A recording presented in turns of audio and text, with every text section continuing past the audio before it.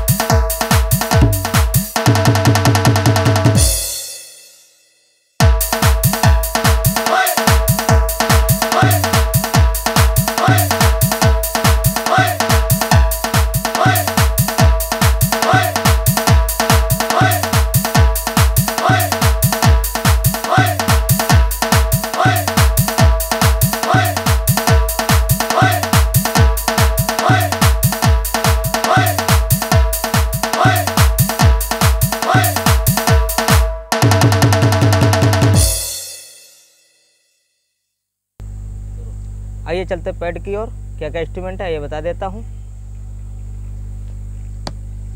पहले खाने में आई इक्कीस, दूसरे खाने में टी पैंतीस, और दूसरी बैंक में आई एन, एक सौ तेईस की आवाज़, और दूसरी, तीसरे खाने में आई बीस, और दूसरी बैंक में एच ग्यारह तेरह, एच तेरह की आवाज़ है, और चौथे खाने में बी सैंतालीस की बेस, और सी ज़ीरो दो की आवाज़ है और पाँचवें खाने में एल तीस और छठे खाने में बी सैंतालीस का बेस और ए पंद्रह की क्लेप है।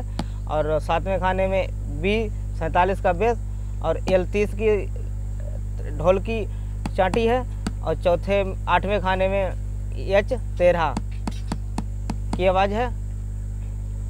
चलते हैं बायलूम की तरफ़।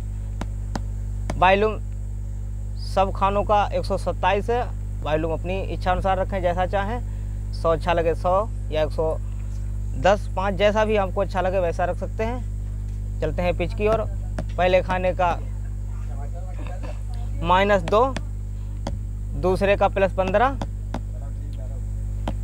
और दूसरी बैंक का ज़ीरो ज़ीरो, और इसका ज़ीरो है दोनों बैंकों का, इसका भी दोनों बैंकों का ज़ीरो है, इसका भी ज़ीरो है दोनों बैंकों का, इसका भी दोनों बैंकों का ज़ीरो है, और इसका इसका प्लस तीन है। इसका प्लस तीन है। इसका, और चलते हैं डीके की तरफ़। डीके ज़ीरो, इसका भी ज़ीरो है दोनों बैंकों का, इसका भी इसका भी दोनों बैंकों का ज़ीरो है। इसका भी, इसका एक सौ सत्ताईस है, इसका भी ज़ीरो है, और इसका और इसका भी ज़ीरो है। डी, आइए चलते हैं डिले की तरफ़। डिले पहले नंबर का यूज़ किया है। और इसका टाइमिंग है सौ।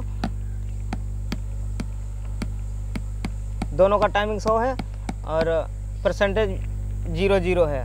अपने पैड में बनाएँ, बजाएँ और कमेंट में ज़रूर बताएँ कैसा लगा हमारा पैच और हमारे चैनल को ज़्यादा से ज़्यादा सब्सक्राइब करें लाइक करें। राम राम।